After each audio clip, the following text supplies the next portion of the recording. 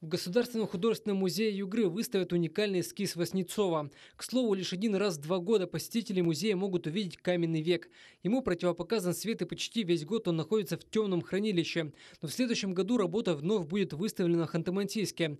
Отмечу, что в этом году музей получил в дар 12 тысяч экземпляров произведений искусства. Среди новинок предметы живописи, фарфора, скульптуры и антикварная мебель. Коллекцию передал в дар меценат.